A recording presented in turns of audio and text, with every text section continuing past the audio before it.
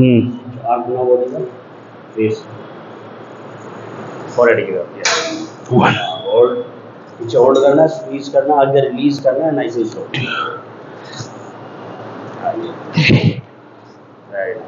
Four थोड़ा towards ये four है सिक्स सेवन एट नाइन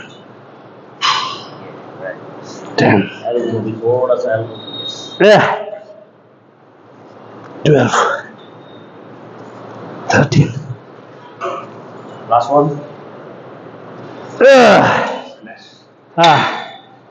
तो दोस्तों आज की वीडियो का हमारा यही टॉपिक है कि जो जो कई बंदे कई लोग। कई लोग जो कोचिंग जो तो लगता है हम खुद ही कर सकते हैं हम हाँ, खुद कोच। बन गए वो कोच बन गए तो हैं लेकिन मैं यही बोल रहा हूँ कि यार चाहे हम जो हम मेरे को हो गए पंद्रह साल ट्रेनिंग करवाते हो आपको कितने हाँ, साल मेरे को ही बारह तेरह साल तो हो गया है। हाँ।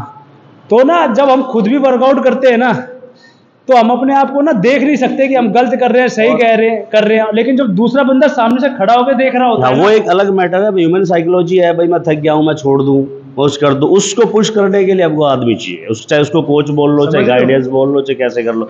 अब मैं कर रहा हूँ एफर्ट मेरे को लगे यार दस लग गया चल ठीक है यार ग्यारह में क्यों करूँगा? अब अगला है वो ग्यारह है बारह है पंद्रह है वो पंद्रह करवा के रहेगा जितने रेपिटेशन आप शेड्यूल में लिखते हो उसको कंप्लीट करवाना जो आपको गाइड कर रहा होता है उसका काम है। उसका कही उसका काम है। चाहे उसको कोच कोच हायर कर लो आप आप कोई सीनियर हायर कर लो वो एक अलग मैटर है।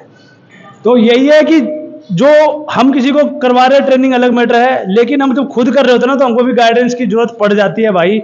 और अच्छे अच्छे एथलीटों को देखा होगा इंटरनेशनल लेवल पे देखा चाहे वो ओलंपिया लेवल के लोग हो वो भी कोच हायर करते हैं हाँ। चाहे कैसे भी करें। लेकिन हमारे इंडिया में है जिसने एक साल वर्कआउट कर लिया ना। वो उस्ताद बन गया उस्ताद बन गया उसको वर्कआउट की कोई की कोई गाइड करते हैं भाई को हट हो जाता है उसका तो। बहन की मेरे को बताएगा पढ़ चुका हूँ मैं पढ़ चुका हूँ। ये चीज़ें मारती हैं तो भाई जो भी बिगिनर्स है जो भी लेवल जो जिन इंटरमीडिएट है चाहे एडवांस भी है हाँ। कोशिश करो कहीं ना कहीं आप थोड़ा सा गाइडेंस में किसी को रखो।